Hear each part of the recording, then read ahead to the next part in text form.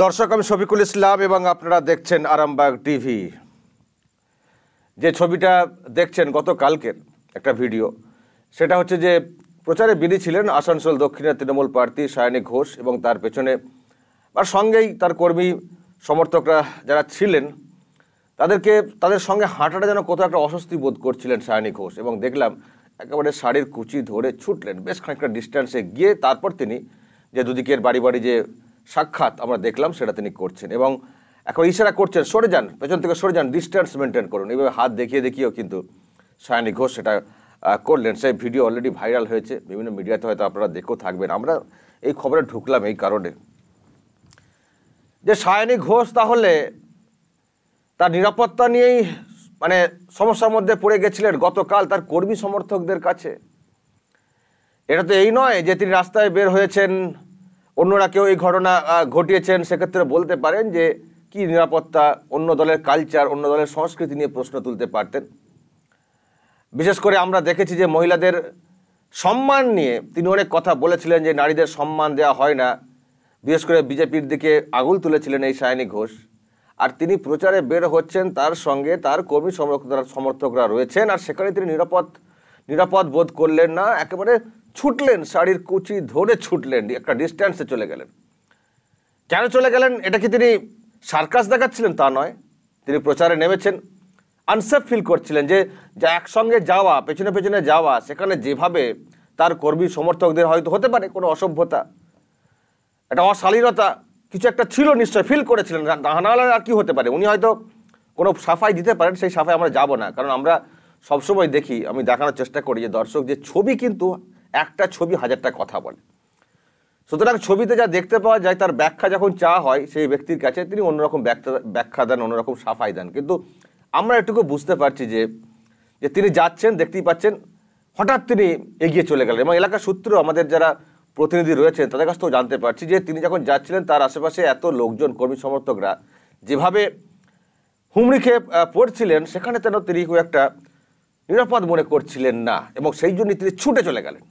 ছুটে গিয়ে দেখতেই পাচ্ছেন এবং হাত ইশারা করছেন যে একটা ডিস্ট্যান্স মেনটেন করুন। এরকম করে কাছে এসে পড়বেন না।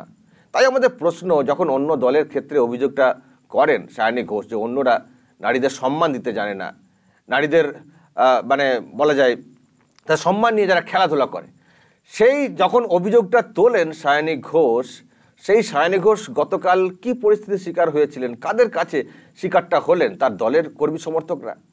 তাহলে যখন অন্য দলের ক্ষেত্রে অভিযোগের আঙুলটা তোলেন যে নারীদের সম্মান দিতে জানেন না, তখন তিনি তো নিজেই ভুক্তভোগী। তিনি গতকাল কি দেখলেন? তিনি কি দেখলেন? অভিযোগ কি করতে পারবেন না? পারবেন না। কারণ তিনি সেই নিজের দলটা করেন। ফলে যখন যে দলে থাকব, সেই দলে যতই অসম্মান হোক, নারীদের উপরে হুমড়ি খাওয়া, এই রকম বিষয় যতই ঘটুক না কেন এই বিষয়ে সায়নী ঘোষ কিছু বলতে পারবেন না। কারণ তার প্রতিবাদী মুখ, আমরা তো অলরেডি বুঝে গেছি, প্রতিবাদী মুখ হচ্ছে রাজনীতির একটা বিষয়কে সামনে রেখে। যখন অন্য দলের ক্ষেত্রে কিছু ঘটবে তখন তিনি প্রতিবাদ করবেন, নারীদের সম্মান নিয়ে কথা বলবেন, রাস্তায় নামবেন, স্টেজে দাঁড়িয়ে অনেক অনেক কথা বলবেন, বক্তব্য রাখবেন, আর যখন এমন কিছু ঘটনা ঘটবে যে যার জেরে অভিযোগের আঙুলটা এই রাজ্যের সরকারের দিকে উঠবে বা এই রাজ্যের শাসক দলের দিকে উঠবে, তখন তিনি চুপ হয়ে থাকবেন। সুতরাং প্রতিবাদী মুখ হিসেবে তিনি হয়তো এই রাজনীতিতে এসে একবার টিকিট পেয়ে গেছেন বিধানসভা নির্বাচনের, কিন্তু তার এই আচার আচরণ, ভোটারদের মনে কতটা প্রভাব ফেলবে, ভোটারদের মনে কতটা প্রশ্ন জাগাবে, সেটা কিন্তু বলাই যায়। কারণ এই ধরনের একটা বিরল দৃশ্য বলা যায়। এইভাবে আমরা দেখিনি। প্রথমত, প্রার্থী এরকম প্রচারে নেমে ছুটোছুটি করছেন শাড়ি ধরে ছুটোছুটি করছেন একজন। সেটা এক, সেই ছবিটাই তো একটা অড ছবি। এই ছবিগুলো দেখা যায় না। স্বাভাবিকভাবেই প্রশ্ন ওঠে। আর এই প্রশ্নের উত্তর খুঁজতে গিয়ে আমরা যেটা জানতে পেরেছিলাম, যে তিনি অস্বস্তি ফিল করছিলেন। একসঙ্গে এইভাবে হাঁটতে, ধীরে ধীরে হাঁটতে। সেই জন্যই তিনি এইভাবে তিনি ডিস্টেন্স মেনটেন করলেন। ভাবুন, এই দলের শাসক দল তৃণমূল কংগ্রেসের কর্মী সমর্থক, সমর্থকদের কাছে নারীদের নিরাপত্তা। আর এই দলই আবার বলে যে, অন্য দল নারীদের সম্মান দিতে জানে না, অন্য সরকার, অন্য রাজ্যের সরকার, তারা নারীদের সম্মান দিতে জানে না, নারীদের সম্মান নিয়ে খেলাধুলা করে। আর সেই শাসক দলের ক্ষেত্রে গতকালের ভিডিও, সেই প্রশ্নকে কিন্তু নতুন করে বলা যায়, জাগিয়ে দিল। নিশ্চয়ই দর্শক, আপনারা বলবেন সায়নী ঘোষের বিভিন্ন সময়ের ভূমিকা এবং গতকালকে যা ভিডিও দেখলেন, সেটা নিয়ে নিশ্চয়ই আপনারা কমেন্ট করবেন। আমি আরেকটা বিষয় আপনাদেরকে দেখাতে চাই দর্শক, যে তৃণমূলের যিনি সুপ্রিয় মমতা বন্দ্যোপাধ্যায়, তিনি যে ধরনের আচরণ করেন, যেভাবে চলেন, যে নিজের ধর্ম পালন করি, বড় হিন্দু যেমন বলেন, আবার অন্য ধর্মের কলমা পড়েন, মাথায় হিজাব পরে কাপড় দিয়ে, একটা ড্রামা তিনি সেই ধর্মে হয়তো বিশ্বাস করেন না। কিন্তু ভোটারদের কাছে প্রভাব খাটানোর জন্য হতে পারে তিনি সেটা করে থাকেন।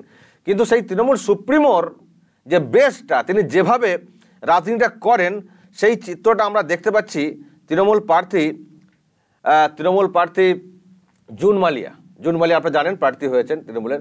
তার ক্ষেত্রে আমরা দেখতে পাচ্ছি মমতা বন্দ্যোপাধ্যায়ের সেই যে ক্যারেক্টারটা, সেরকম একেবারে মুসলিম ভোট টানতে মাথায় হিজাব পরে হাত তুলে তিনি কিন্তু প্রচার করছেন।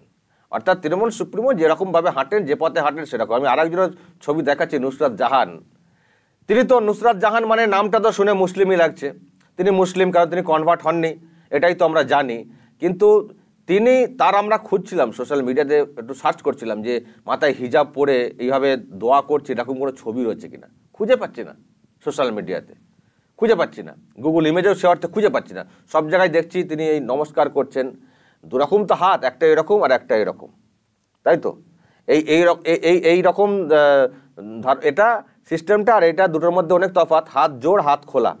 তো এটার আমরা দেখছি যার হাত খুলে প্রার্থনা করার কথা, তিনি করছেন এরকম ভাব। আর যার এইভাবে প্রার্থনা করার কথা মানে সাধারণত করার কথা মানে যেটা হয়ে থাকে। আমরা বলি না যে একবারে নির্দিষ্ট নিয়ম ওটাই করতে হবে, কিন্তু যেটা হয়ে থাকে, যেটা দেখে থাকি, যার এইভাবে প্রার্থনা করার কথা তিনি করছেন এরকম। এই যে বিষয়টা এটা অনেকে বলবেন যে অন্য ধর্মের প্রতি শ্রদ্ধা। আমি আবার বলি, অন্য ধর্মের প্রতি শ্রদ্ধা মানে এই নয় যে সেই ধর্মের আচারগুলোকে নিজেকে পালন করতে হবে। শ্রদ্ধা সেটা কি বলে। কীরকম শ্রদ্ধাকে বলে? ধরুন, পুজো হবে, আমাদের এলাকায় আমি মুসলিম, এই এলাকায় পুজো হবে, যাতে পুজোর আয়োজনে কোনো সমস্যা না হয় আমার পাড়াতে, সেই ব্যবস্থাপনাটা করে দেওয়া। যদি মনে হয় যে পুজো যারা দর্শনার্থী আসবে জল লাগবে, তারা মানে খাবার জল নেই, আমি মুসলিম, সেই জলের একটা জায়গা ব্যবস্থা করে দেওয়া। আমি যদি মনে করি যে ওখানে পুজো হচ্ছে সুতরাং ওই জায়গাটা দিয়ে আমরা আজকে না হাঁটলেই ভালো হয় মানে ভিড়টা, ভিড় কমানো আমরা একটু এই সময় এই দিকে হাঁটবো, এইটা হচ্ছে এইটা হচ্ছে সহযোগিতা করা এটা হচ্ছে অন্য ধর্মকে সম্মান দেওয়া।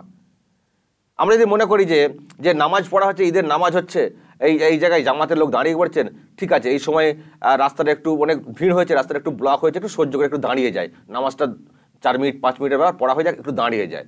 বা এরকম ঈদের নামাজ হবে, সেখানে আমার মনে হচ্ছে যে আমার বাড়ির কল, কলটা এখান থেকে লোক উজু করতে পারবে।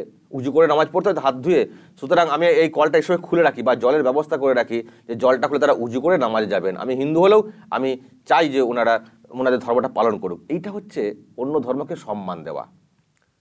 এটা হচ্ছে অন্য ধর্মকে সম্মান দেওয়া। অন্য ধর্মকে সম্মান দেওয়া মানে এই নয় যে অন্য ধর্মের আচার আচরণে আমি সেটা পালন করতে শুরু করব তাহলে তার নিজের ধর্মের বিশ্বাসটা নিয়েই প্রশ্ন উঠে যায়। আমি সেটাই বলার চেষ্টা করি যে এগুলো এত এত এইভাবে করার কোনো দরকার নেই। এত এরকম করার কি খুব দরকার আছে? নিজের ধর্মের অন্য ধর্মের কালচারে মানে আমাকে সেটা পালন করতে হবে, তবেই আমাকে দেখাতে হবে, দেখো আমি কতটা ভালোবাসি। এই ধরনের একটা ড্রামা এগুলো অনেক মানুষ পছন্দ করেন না। আমি জানি না, তবুও তৃণমূল কংগ্রেসের এটা কালচার তারা কিন্তু নিজের ধর্মটাকে যতটা পালন করে, অন্য ধর্মটাকে পালন করার দিশা দেখায়। কতটা মনে পালন করে আমি জানি না, কিন্তু দেখানোর চেষ্টা, ছবি তোলার চেষ্টা। সেটা কিন্তু আমরা দেখছি জুন মালিয়ার ক্ষেত্রে আবার সেই একই সিস্টেম মমতা বন্দ্যোপাধ্যায় যেভাবে তিনি ভোট ভোট চাইতে যান, তার সেই কায়দা কিন্তু তিনি রপ্ত করে ফেলেছেন। আর যার এই ধরনের চিত্রে দেখা যায় যা, দেখা মানে উচিত ছিল, দেখা যাওয়ার ছবি, সেই ছবি খুঁজে পাওয়া যাচ্ছে না। দর্শক, কি বলবেন? আমি জাস্ট কতগুলো বিষয় নিয়ে আলোচনা করলাম। নিশ্চয়ই কমেন্ট করবেন কমেন্ট বক্সে নজর রাখবেন আরামবাগ